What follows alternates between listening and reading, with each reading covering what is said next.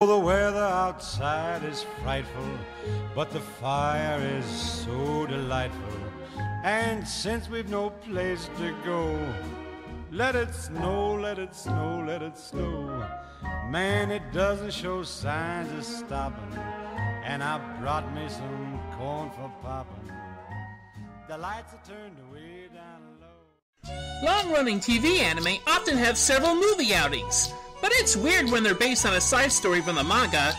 And without Ikuhara at the helm, who knows what to make of it? In the name of the moon, I'll punish it!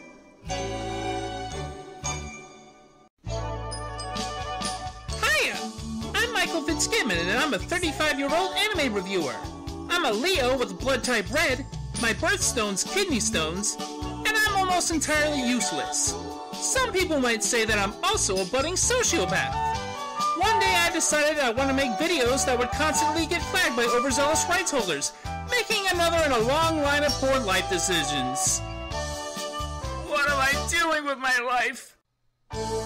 Sailor Moon S, the movie.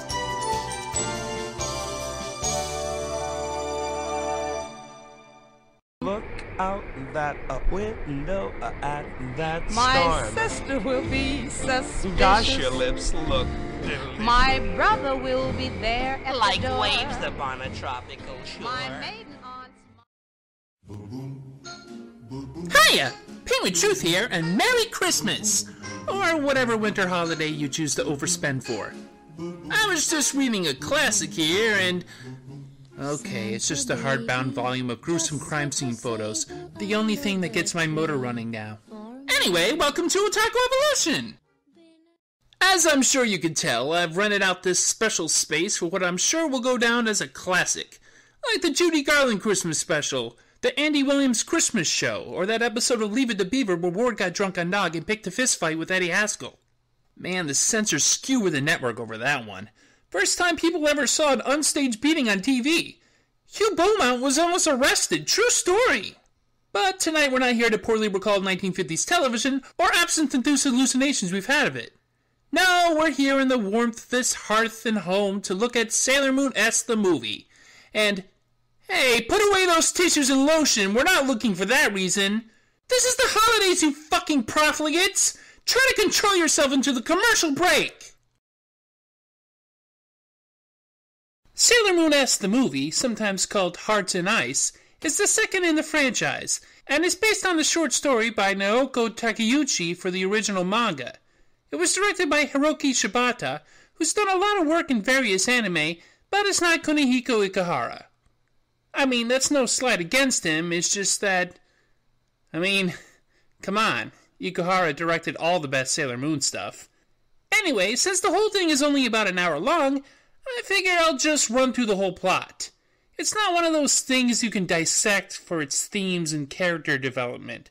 There's only a couple of characters in this movie that do anything, despite the sizable supporting cast they still put into it. Our story begins with a strange object hurtling through space towards Earth and. Wait, did I switch on the previous Sailor Moon movie? I'm pretty sure that's how the first one began. Hmm. Apparently, this astronomer, Kakeru, spots the object and races to where it crashes, finding a shiny space rock while ominous music plays. I'm guessing that it isn't a crystal gem that got poofed. The opening credits see our merry band of gal pals hitting the shopping district, mostly just messing around, with Usagi, yes, I'm using her Japanese name, stuffing her face. The gang winds down in front of a large city screen broadcasting a story about an upcoming shuttle launch to the moon. Naturally, our bun headed blonde finds taking a trip to the moon, something she's already done, mind you, a novel experience. But since it's her talking cat Luna's job to take a dump in her punch bowl, she reminds her that she should be studying for high school entrance exams. I don't expect you to understand my feelings. After all, I bet you've never experienced love before, have you? Aw. It's not like I even plan to fall in love, so who cares? Are you all right, Luna? I think I might have caught a cold last night. Luna underestimates the severity of her sickness and is nearly made roadkill, but the same astronomer guy from before dives in the street to rescue her and nurses her back to health at his home. Luna is astonished that this absolute stranger took care of her the whole night. Kakeru is visited by Himiko, an astronaut preparing to go on that moon mission. He relays to her about the object he spotted, showing her the gem, but she hesitates to believe him as he's been ostracized by the scientific community for insane ramblings about some kind of princess on the moon, Princess Kaguya, based on the tale of the bamboo cutter. After spending some time hanging out with Kakeru, Luna begins to feel strangely about him, almost as if she was attracted to him. But there's no time for love because the movie's villain, this ice bitch, summons her ice minions who take to freezing over town. Naturally, this means it's time for transformation sequences! For like four minutes. Seriously. They are really padding this thing out. Though I have to admit the transformations and attack sequences are a guilty pleasure. Very guilty.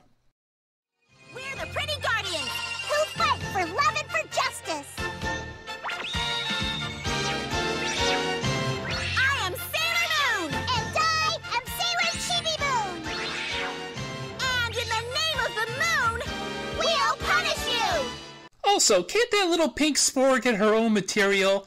Don't photobomb your future mama's routine. You're not even useful in a fight. Usagi's not faring too well herself, being immediately made dizzy by circling images, then dropping her wand when taken off guard. But speaking of useless in a fight, here comes.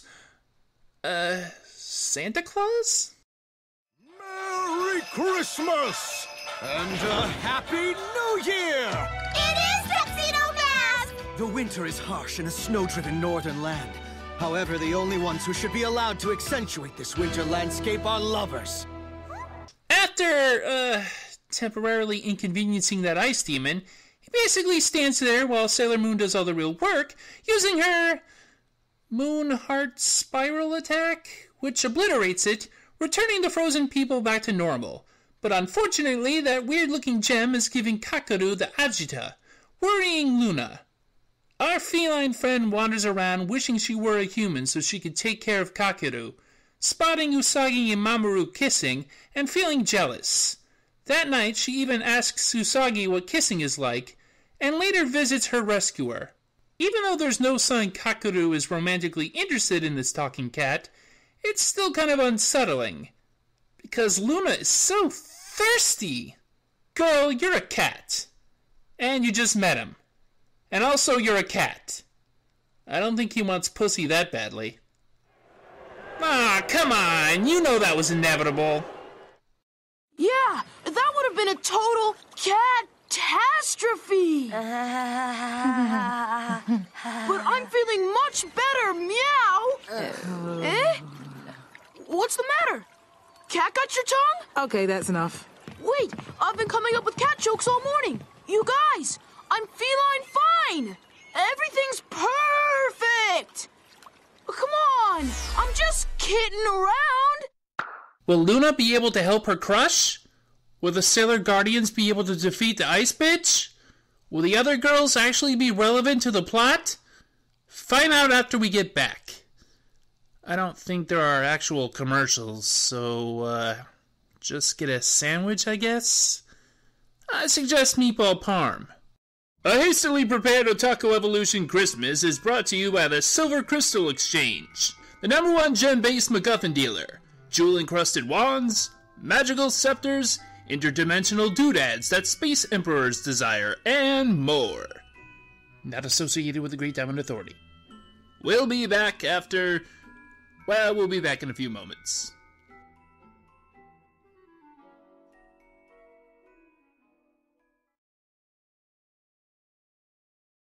And now we return to a hastily prepared Otaku Evolution Christmas with your host, Penguin Truth. And so I woke up and the bed was soaked. I had one of the ensigns sniff it, and I'm pretty sure it was just sweat. At least, I hope so. Because if that dream made me. Oh, hey! Uh. Didn't, uh. Didn't know we'd, uh. We'd come back. Hey, how about this Sailor Moon S movie, huh? I don't know. I think by the end we'll all be catatonic.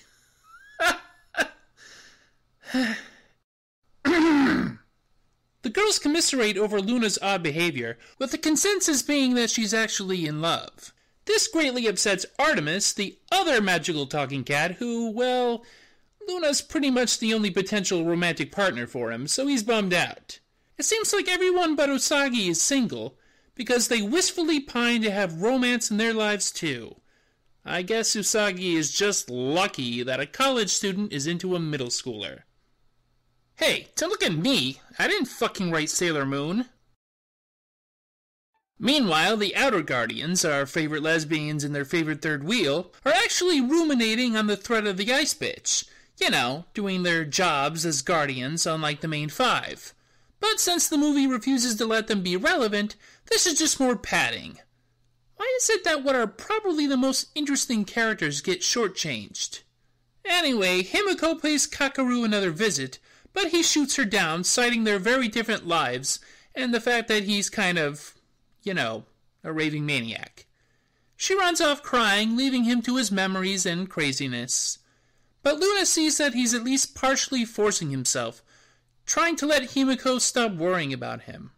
In a strangely tender scene, Luna admits to Usagi, who followed her, that while she loves Kakeru, it's clearly Himiko that he was meant for. But honestly, for a moment I thought Kakeru could have been the person I was meant to be with. Like it was fate. However, the one he was truly meant for wasn't me after all.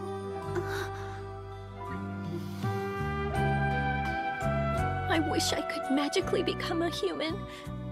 If that happened, then I could stay by his side as a person instead of a cat. But just then, the space rock is discovered by Ice Bitch, who needs it to help her freeze over the world. Why she didn't have it with her to begin with is beyond me. She really should keep track of her stuff. Anyway, this isn't good for Kakeru's health, or mindset, because soon he's ranting about her being Princess Kaguya. She pieces out so she can start chilling the world, which is reported on the news.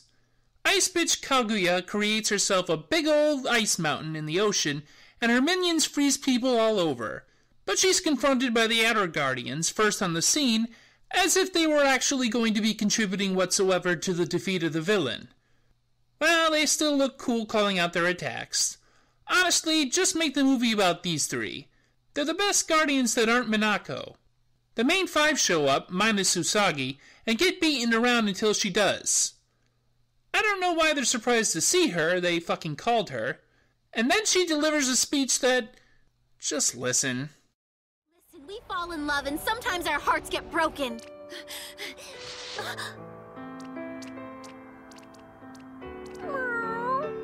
Hime. Kakeru. And there are times when that heartache keeps us up at night. In our lives, we experience sadness and all kinds of hardships. But in the end, it's those things that make us feel alive. What?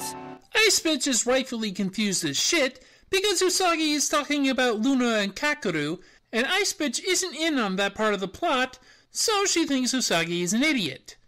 But Dummy Bunny keeps lecturing her about love, which, again, has nothing to do with Ice Bitch's motivation, so it just sounds like she's ranting crazily, like Mina Loveberry.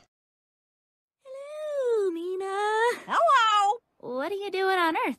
I'm on vacation. Doctor's orders. What, what, are you, what are you gonna do on your vacation? I will let the soul be my guide and wander off to the depths of this unseen planet. That's what you say when you've lost your marbles. What? Let's see. Cartoon Network show? Check. Disney Channel show? Check. Hmm, I wonder if I can fit in a Loud House reference and get the trifecta. But I haven't watched that yet. Ah, well, next year. Well, Usagi isn't just super crazy, she's super powered. She activates her, uh, goblet dealie and transforms into a butterfly. Like you do. But once she attacks with her super mega ultra star beam or whatever, she's overpowered. Ooh, that's going on the blooper reel. Since her goblet isn't effective, Sailor Moon summons the Silver Crystal, which doesn't look as cool as it did in the previous movie with its flower design. Her allies circle around her to protect her, joining hands to combine their strength. They do this thing that's, well, really pretty, but also kind of bullshit. Sort of Sailor Moon in a nutshell. Creating a barrier that the ice minions can't penetrate. Then Ice Bitch fires her Kamehame Senko Sappo, which the Guardians counter. So yeah, beam struggle.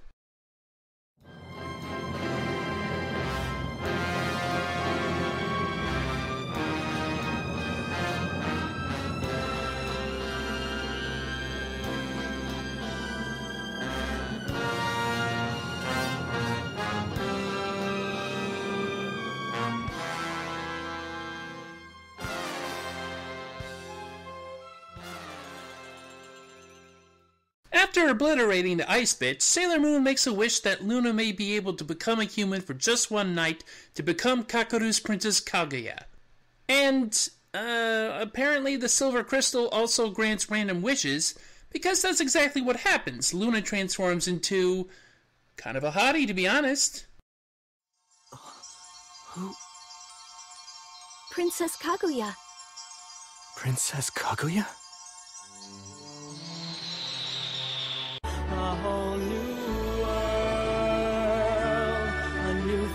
Fantastic point of view. No one to tell us no, or where to go, or say we're only dreaming. A whole new world. A dazzling place I never knew. Hmm. No, not Christmassy enough. Let's try this.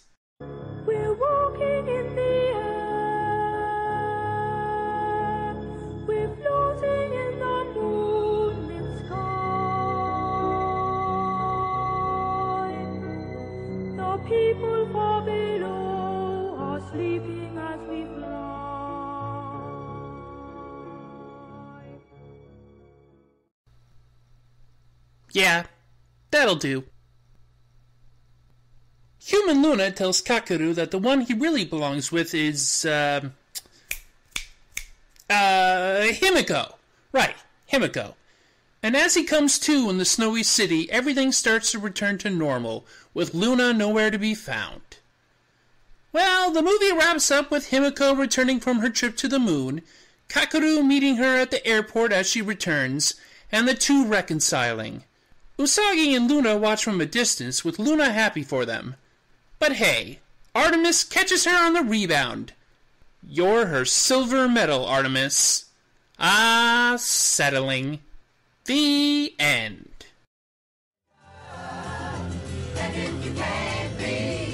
With the one you love,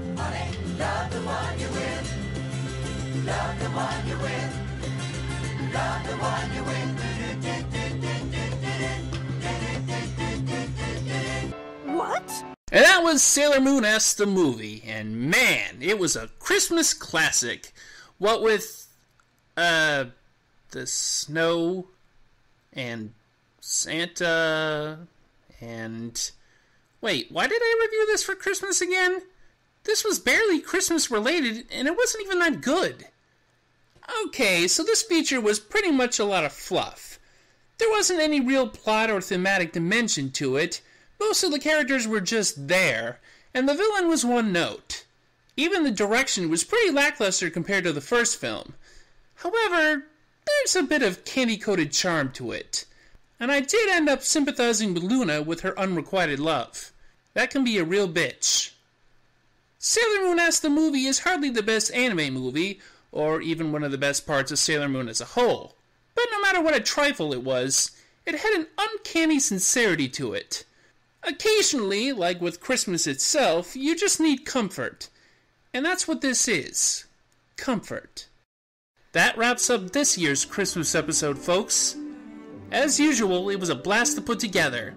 These are some of my favorite videos. I'll probably end up having to do another grab bag next year, but I thought I'd give this its shot while the new English dub was hitting the scene. Go out and buy it from Viz Media if it interests you. As always, have the happiest holiday season. There's still one more episode for this year, so come back for my year end English dub review. Until then, see ya!